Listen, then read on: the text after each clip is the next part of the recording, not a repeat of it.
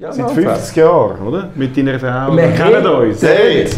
Wir hätten dieses Jahr ein ein Dreifach-Jubiläum. Dank Ja. Corona Ja. interessiert Ja. es im Moment niemand. Oder?